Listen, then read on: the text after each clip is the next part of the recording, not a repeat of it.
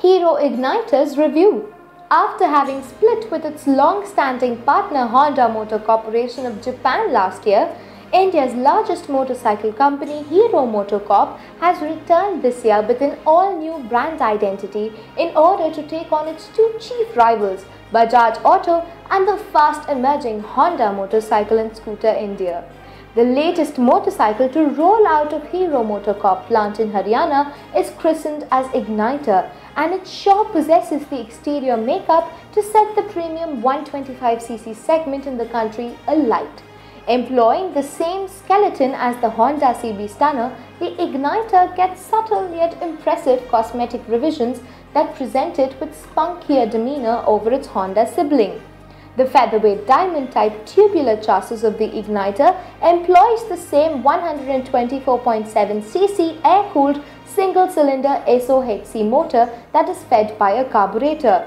Albeit, the potent Honda engine gets a different tune on the Ignitor with the 11 Nm of torque let loose at 5000 rpm which is about 1500 rpm lower than the tune on the CB Stunner. Torque made available lower down the rub range translates into better in-town rideability, allowing the rider to stay in the higher gear even at lower speeds.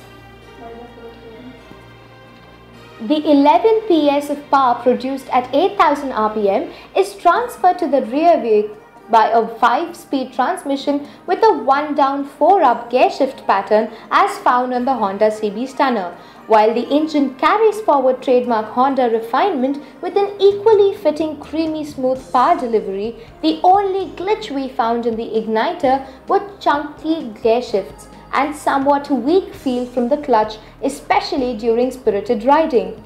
And even if the Ignitor is not meant for much of spirited riding, even the average Joe commuter will not be at ease with the shifts. What do you think about our review? Please write into us.